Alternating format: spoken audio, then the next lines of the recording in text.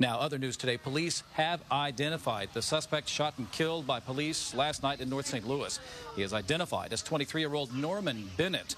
Officers say Bennett had just completed a drug deal when undercover officers tried to arrest him, and he took off. Police say officers chased Bennett, but when he pulled a gun, the officers opened fire.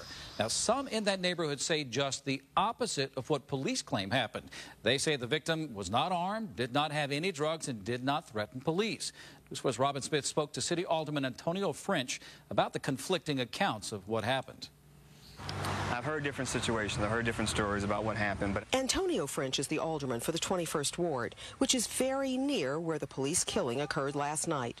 French is working on two anti-crime programs, hoping to reduce the violence.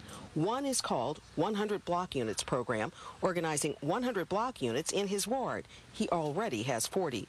In the other program, he's requesting surveillance cameras in high traffic and high crime areas.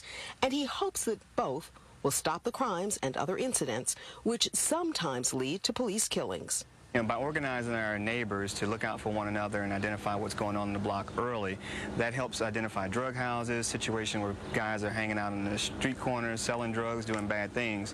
And working with police and our elected officials and our nuisance coordinators in the ward, we're able to identify those houses and those people in, uh, early and hopefully weed them out before it, it gets into an incident like yesterday.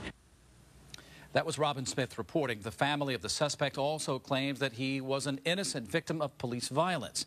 Hear what they have to say coming up on News 4 at 10 o'clock tonight. An effort to rebuild and improve housing in the city of St. Louis continues. Today was the second in a series of rebuilding days this summer. The goal is to improve housing in six neighborhoods in the 21st Ward, the homes which are most in need of repair. The first rebuilding day took place back in May, and it was a huge success. 66 homes are being targeted for rehab this summer. Dozens of volunteers turned out to provide a variety of free services for residents. They were laying new floors, putting in ceilings, putting up drywall, fixing plumbing, fixing electric. It was medium, small. Funding for this program comes from Boeing, the city of St. Louis, other major corporations, and individual donations.